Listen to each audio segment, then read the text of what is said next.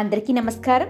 Welcome back to అహోహ recipes నేను మీ పెరమడ ముందుగా అందరికీ కార్తీక పౌర్ణమి శుభాకాంక్షలు. ఈరోజు అహోహ రెసిపీస్లో కార్తీక పౌర్ణమికి నైవేద్యంగా సమర్పించవలసిన పచ్చి చెలిమిడిని చాలా ఈజీగా ఎలా చేయాలో చేసి చూపిస్తున్నాను. చాలా ప్రాంతాలలో కార్తీక పౌర్ణమి రోజు పచ్చి చెలిమిడిని నైవేద్యంగా సమర్పిస్తారు. ఎందుకంటే ఉడకబెట్టిన పదార్థాలు ఏమీ కూడా ఈ రోజు నైవేద్యంగా సమర్పించరు. దీనిని చేసుకోవడానికి స్టవ్తో పని లేదు చేసుకోవడం కూడా చాలా సులువు. ఎలా చేయాలో చూద్దాం. ముందుగా ఒక కప్పు మీద మరొక పావు కప్పు బియ్యాన్ని తీసుకోండి. ఈ బియ్యాన్ని ఒక్కసారి కడుక్కుని నాలుగైదు గంటలు నీళ్ళలో నానబెట్టుకోండి. మీకు అంత సమయం లేదు అనుకుంటే కనీసం రెండు గంటలైనా నానబెట్టుకోండి. కానీ బియ్యాన్ని ఎక్కువసేపు నానబెట్టుకుంటే చలిమిడి చాలా మృదువుగా వస్తుంది. ఎక్కువసేపు నానబెట్టుకోవడానికే ట్రై చేయండి. ఇలా నానబెట్టుకున్న బియ్యంలోంచి నీళ్ళన్నీ తీసేసి ఇలా పది నిమిషాలు ఆరనివ్వండి చాలు.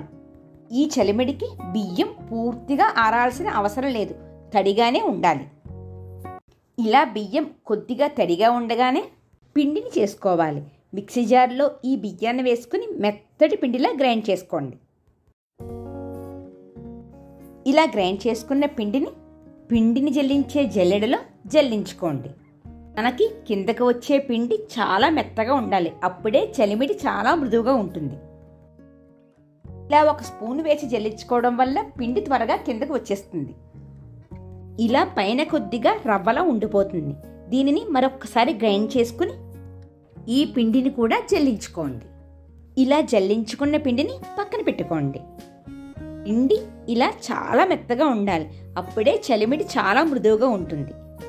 పిండి తడి ఆరిపోకుండా దగ్గరగా చేసుకుని పక్కన పెట్టుకోండి. ఇప్పుడు ఏ కప్పుతో అయితే బియ్యాన్ని తీసుకున్నామో అదే కప్పుతో కొబ్బరి ముక్కలు తీసుకుని గ్రైండ్ చేసుకోండి. ఈ విధంగా గ్రైండ్ చేసుకుంటే సరిపోతుంది.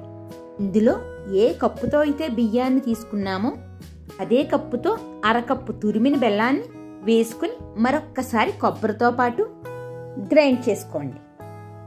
గ్రైండ్ చేసుకున్న మిశ్రమం ఈ విధంగా ఉండాలి.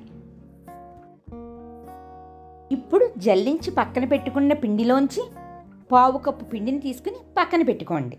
ఎందుకంటే కొబ్బరి బెల్లం మిశ్రమం వేశాక చలిమిడి ఒక్కొక్కసారి జారు అయ్యే అవకాశం ఉంది. జారు అయితే ఈ పిండి వేసుకుని కలుపుకోవచ్చు. ఇందులో కొబ్బరి బెల్లం మిశ్రమం వేసుకుని చిటికెడు ఏలకల పొడి వేసుకుని బియ్యపిండి కొబ్బరి మిశ్రమం కలిసేలా బాగా కలుపుకోండి. ఇలా ఈ విధంగా. చూడండి చలిమిడి కొద్దిగా జారు అయ్యింది చలిమిడి ఇలా జారు అయితే పక్కన పెట్టుకున్న పిండిని కొద్ది కొద్దిగా వేస్తూ బాగా కలుపుకోండి. మనం అందుకే నానబెట్టుకునేటప్పుడే కొద్దిగా బియ్యం ఎక్స్ట్రా నానబెట్టుకున్నాం.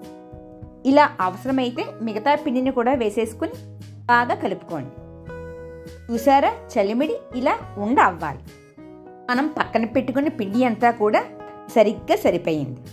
ఇందులో ఒక టేబుల్ స్పూన్ నెయ్యి వేసుకుని మరొకసారి బాగా కలుపుకుంటే కార్తీక పౌర్ణమికి నైవేద్యంగా సమర్పించే చలిమిడి రెడీ అయింది.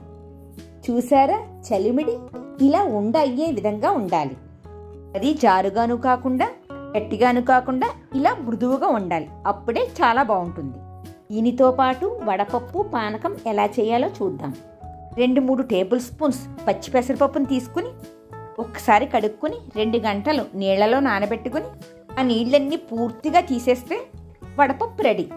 ఇప్పుడు పానకానికి ఒక గ్లాసు నీళ్ళల్లో కొద్దిగా బెల్లం చిటికడు యాలకల పొడి వేసుకుని బాగా కలుపుకుంటే పానకం కూడా రెడీ అయినట్లే. కార్తీక పౌర్ణమికి వీటితో పాటు పాలు పెరుగు కొబ్బరి పళ్ళు నైవేద్యం సమర్పించాల్సిన ముఖ్యమైన పదార్థాలు. ఇవి చేసుకోవడానికి స్టవ్తో పని లేదు.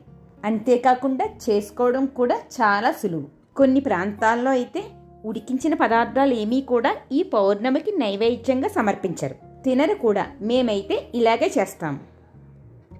ఈ చలిమిడితో పాటు మీ ఆచార వ్యవహారాలను బట్టి నైవేద్యం సమర్పించుకోవచ్చు.